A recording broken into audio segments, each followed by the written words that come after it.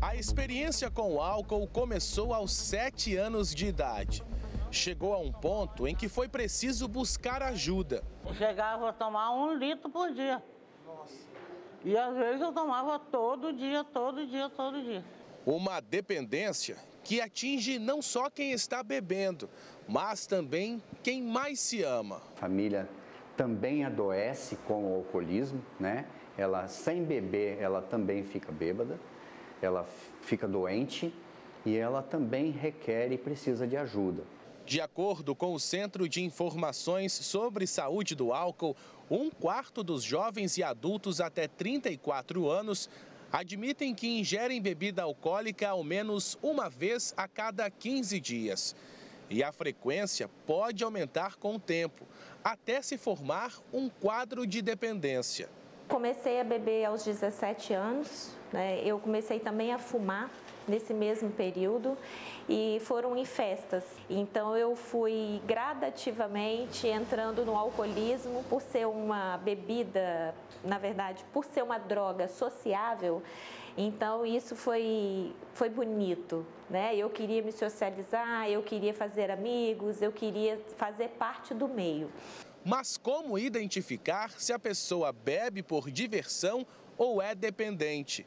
É uma vontade intensa que ela sente e por isso mesmo ela desenvolve todo esse comportamento compulsivo, usando doses cada vez maiores. E quando ela tenta diminuir ou parar o uso do álcool, aí ela sente os sintomas de abstinência, que são tremores, sudorese, taquicardia, a pressão pode aumentar. Se chegar nesse ponto, é preciso buscar ajuda. O primeiro passo, né, um passo muito importante que as famílias, as pessoas podem recorrer, são as unidades básicas de saúde do município. Né? A unidade básica é considerada a porta de entrada para a pessoa ter acesso a todos os cuidados em saúde de forma integral e também para situações de álcool e outras drogas. Após receber atendimento em uma unidade básica de saúde, os pacientes diagnosticados são encaminhados a locais como esse, referência no tratamento de pessoas com dependência em álcool ou outras drogas. Aqui são realizadas terapias com psicólogos e outros profissionais.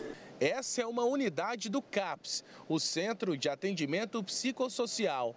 Apenas nessa unidade em Vitória são realizados 150 atendimentos por mês.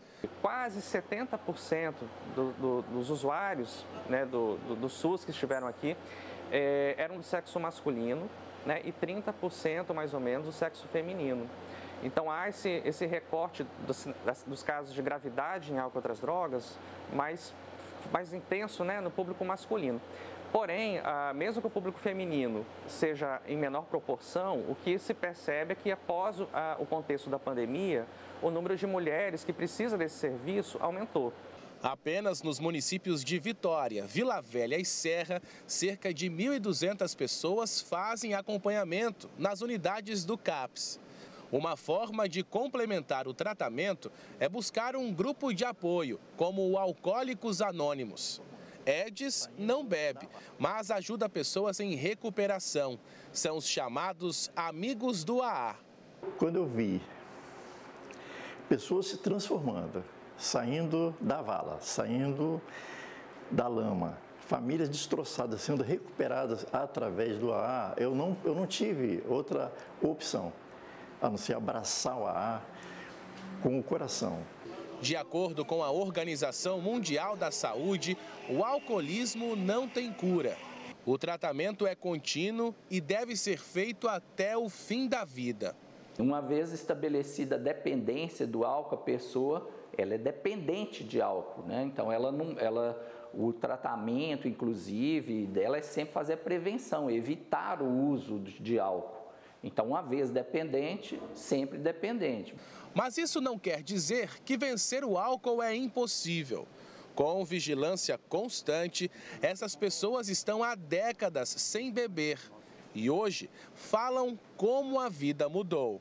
Eu comecei a ver que poderia ter uma esperança sim, que havia uma forma de viver diferente, que eu poderia ter fé, ter paz, ter trabalho, ter relacionamentos saudáveis, ter uma vida digna. Então a minha vida começou a mudar a partir dali. Então hoje eu tenho alcançado a dignidade um dia de cada vez, a utilidade novamente ela volta e a felicidade é muito, muito real e verdadeira.